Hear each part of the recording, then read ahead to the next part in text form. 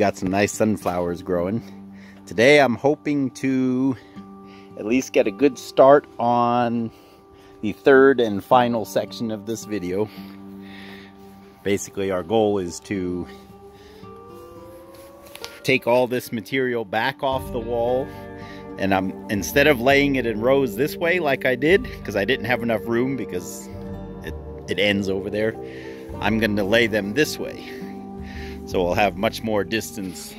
And my goal for tonight uh, it's it's a nice cool evening. I'm gonna try to do this all tonight get it all laid out. And depending on how it goes I might start construction tonight or do it in the morning. But I, I want to get it done all in one push because I don't want to have to stack everything back on the wall again. And usually when I do a project like this I come out and do a few pieces and then tomorrow I'll come out and do a few pieces and and so on but I'm trying to capture this on video so I kind of need to do it in long enough sections that that it's interesting. and then we will start placing the rocks. I have a lot of rocks to place on there. And so for right now, I'm gonna climb up on the ladder. I'm gonna position the camera and capture the glorious process of laying everything out in that pattern like we did last time.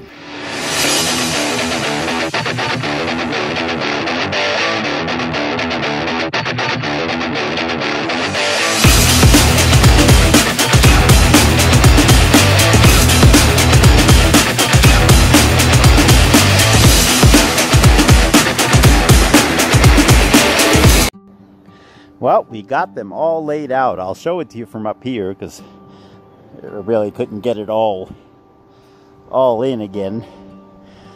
So basically, as you're looking from right to left is thickness, each column up and down.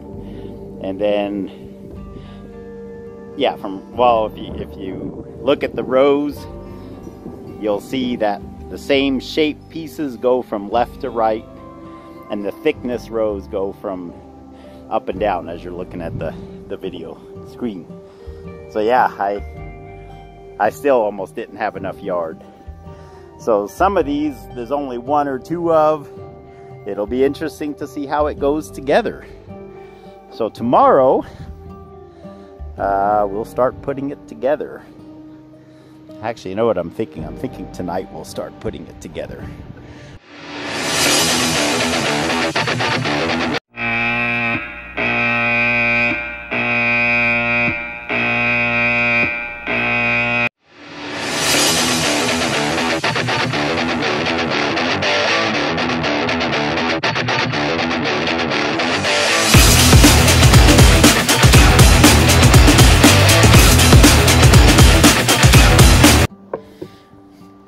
I think we made some pretty good progress. It's getting kind of dark, but you can see it starting to take shape. It's actually getting pretty tall. I'm having to be really careful with balance because if you can imagine straight, like if you were to drill a hole straight through the sculpture at every given point, which we're not going to do, but you want it to be supported so I'm seeing here, there's an awful lot overhanging out on that far end. So I need to start bringing it back and have it overhanging this way. All imagining it centered on a, to me it's an imaginary central point.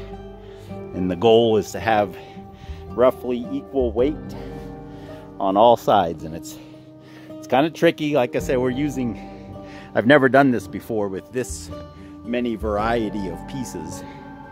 Trying to uh, put them together in such a way. See, it started down there. That's almost like the ground now. it's, it's getting up there, but you can see I still have all that left, all this material. Tomorrow morning, I'm gonna try to come out here real, real early because I want to get this off the grass before the sun heats up the stones and that's a an awfully big bite that I'm trying to swallow right there, but I'm going to try it. If I can get it all done or most of it done uh, tomorrow morning, that would be awesome. Anyway, I'm going to sign off for tonight. Not the end of the video yet, but just for this section.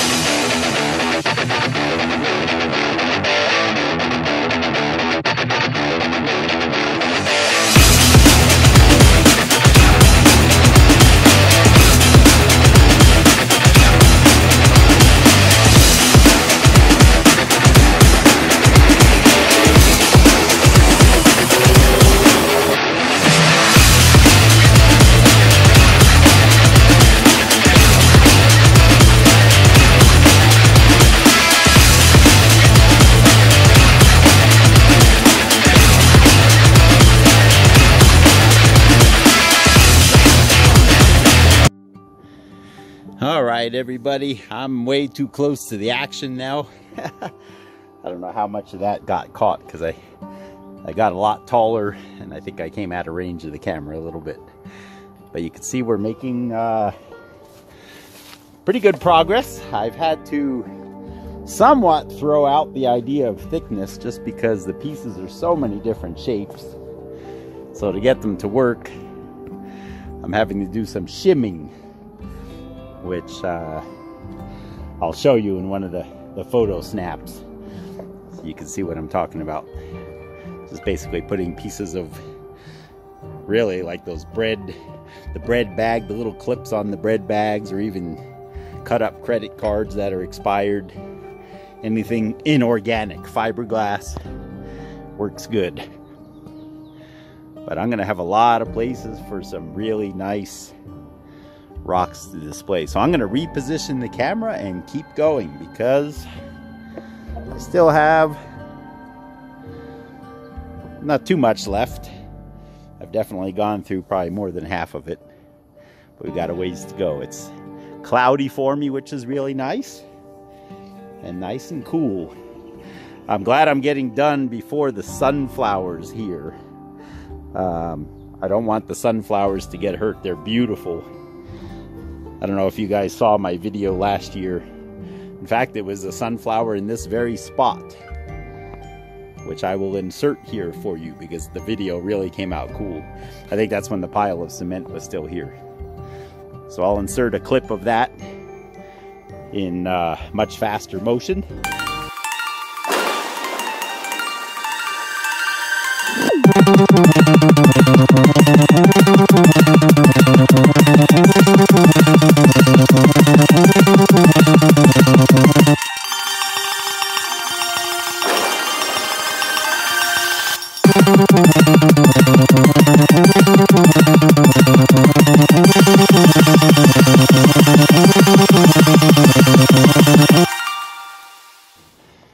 These guys are like an army. They're uh, my neighbor, he had his whole yard full of sunflowers, and he did a time lapse.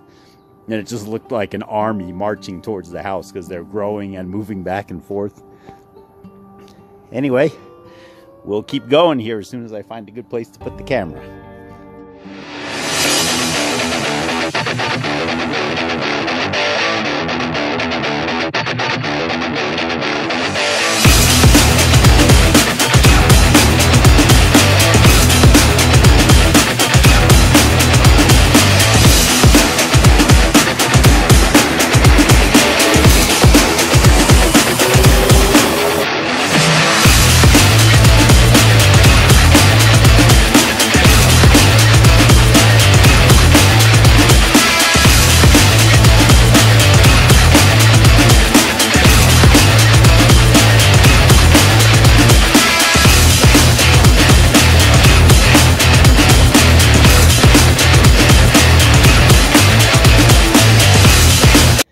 And so concludes the construction phase of what turned out to be actually much nicer and much taller than I thought it would be. Uh, I used up, as you can see, Every single piece. I didn't think I'd get it done. These two pieces here actually go with the sculpture in the back corner, so I'll move those over there. And then, yeah, grass is all cleaned off. Nothing left on the wall. I kept looking at the uh, balance and I think we're okay.